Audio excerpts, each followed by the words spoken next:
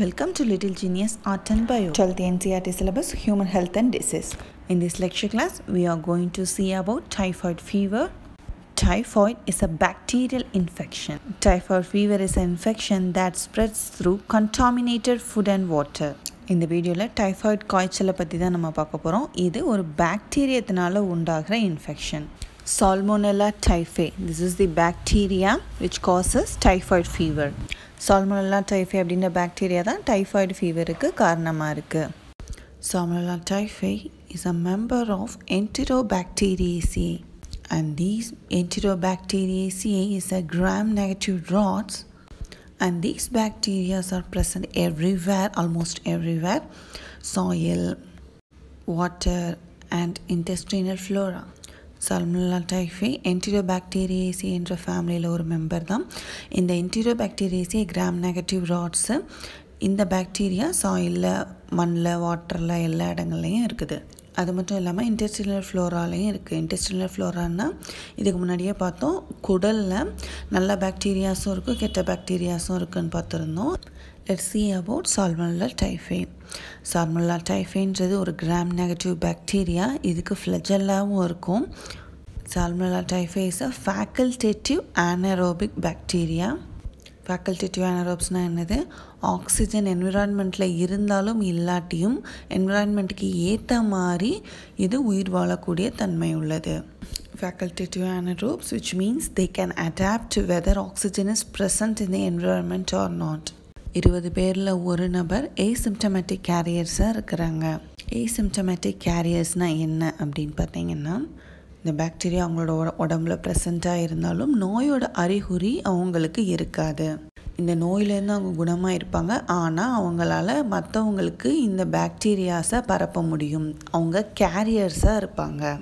நோயின் அறிகுறிகள் எதுவும் இல்லாமல் இந்த மாதிரி கேரியர்ஸாக இருக்கிறவங்கள நம்ம ஏசிம்டமேட்டிக் கேரியர்ஸ்ன்னு சொல்கிறோம் asymptomatic carriers they are recovered from disease but they are able to pass it on others while talking about asymptomatic carrier how can we forget typhoid mary and typhoid mary she is a carrier and she is responsible for the outbreaks of fever in the new york her real name is mary mellon mary was a cook Mary Mallon அப்படின்றவங்க நியூயார்க்கில் ஒரு குக்காக இருந்தாங்க New York சிட்டியில் typhoid fever ஆயிரத்தி தொள்ளாயிரத்துலேருந்து ஆயிரத்தி தொள்ளாயிரத்தி ஏழுக்குள்ளே out break ஆச்சு. இந்த அவுட் பிரேக்குக்கு முக்கியமான காரணமாக இருந்தவங்க இந்த டைஃபாய்ட் மேரி தான்.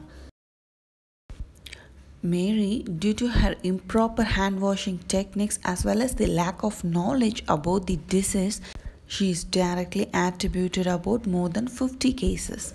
Symptoms of typhoid. Typhoid ஃபீவரோட அறிகுறிகளை பற்றி பார்ப்போம். Sustained high fever one nought three to one nought four stomach pain diarrhoea or constipation கான்ஸ்டிபேஷன்னா தமிழில் மலச்சிக்கல் and other symptoms are cough weakness or headache பொதுவாகவே இந்த சிம்டம்ஸ் இந்த பாக்டீரியா உடம்புக்குள்ளே வந்து ஆறுலேருந்து முப்பது நாளுக்குள்ளே தன்னோட அறிகுறிகளை காட்ட ஆரம்பிக்குது. இது ஒரு மோசமான நோய் தான். சரியான ட்ரீட்மெண்ட் இதுக்கு பண்ணலை அப்படின்னா இது சிஸ்டமிக் டிசீஸாக மாறி உயிருக்கு ஆபத்தாகக்கூடிய வாய்ப்புகளும் அதிகம். Mode of transmission transmitted through orofaecal route improper hand washing of the asymptomatic carrier.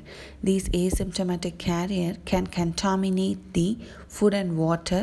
Infected people excrete பண்ணுற இந்த ஹியூமன் ஃபீக்கல் மேட்டரில் இந்த சால்மோனலா பாக்டீரியா ப்ரெசண்ட் ஆகிருக்கும் and these bacteria spread through food and drinking water that are contaminated with infected faecal matter improper hand washing of asymptomatic carrier can spread these bacteria.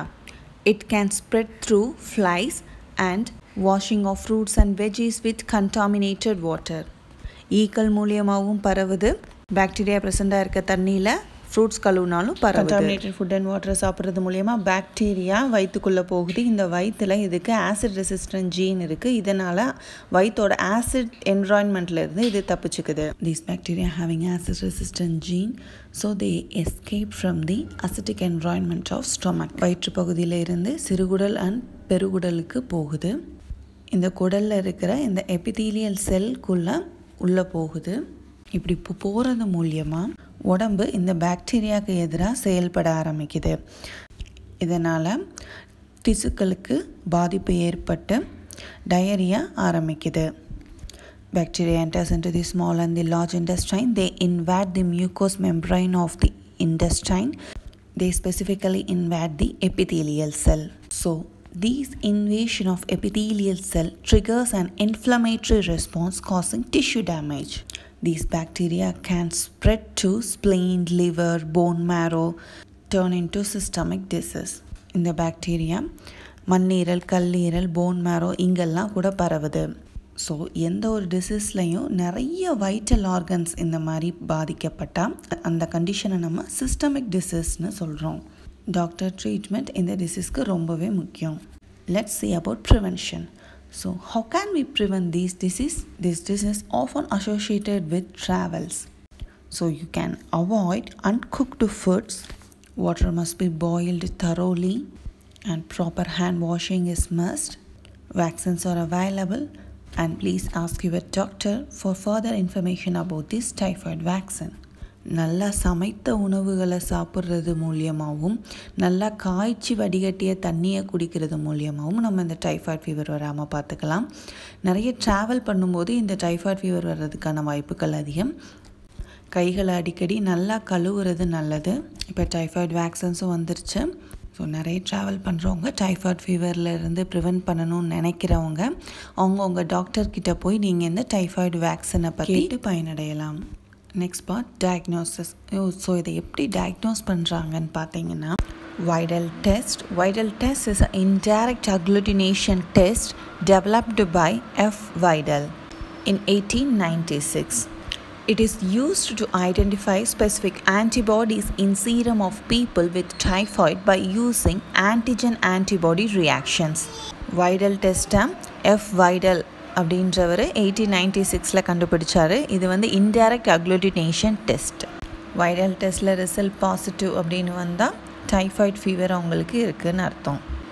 So what is the treatment for typhoid fever diarrhoea is the one of the symptom of typhoid due to loss of fluids dehydration so oral rehydration therapy is must in these patients and your doctor prescribes some antibiotic for the treatment of this bacterial infection typhoid ஃபீவரில் diarrhoea ஏற்படும் இதனால் பாடியில் இருக்கிற நீர்ச்சத்து கம்மியாகுது இதைத்தான் நம்ம டீஹைட்ரேஷன்னு சொல்கிறோம் dehydrate ஆகும்போது நம்ம ஓரல் ரீஹைட்ரேஷன் தெரப்பியை ஸ்டார்ட் பண்ணுவோம் அதாவது பாடி ஃப்ளூயிட்ஸை இன்க்ரீஸ் பண்ணுறதுக்காக டைஃபாய்டுன்ற இந்த பாக்டீரியல் இன்ஃபெக்ஷன்ஸ்க்கு டாக்டர் ஆன்டிபயோட்டிக்ஸ் ப்ரிஸ்கிரைப் பண்ணுறாங்க ஹை ஃபீவரை கண்ட்ரோல் பண்ணுறதுக்காக ஆன்டிபயோட்டிக்ஸ் கொடுக்குறாங்க.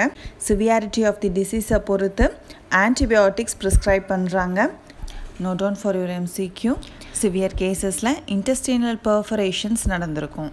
டைஃபாய்ட் ஃபீவரோட இன்னொரு நேம் என்ட்ரிக் ஃபீவர் இதையும் நோட் பண்ணிக்கோங்க for your MCQ this lecture class ends here next வீடியோவில் ஹியூமன் ஹெல்த் அண்ட் டிசீஸ் சாப்டரில் இருக்க நெக்ஸ்ட் பார்ட் பார்க்கலாம். If you like the video click like button share the video and subscribe our channel thanks for வாட்சிங்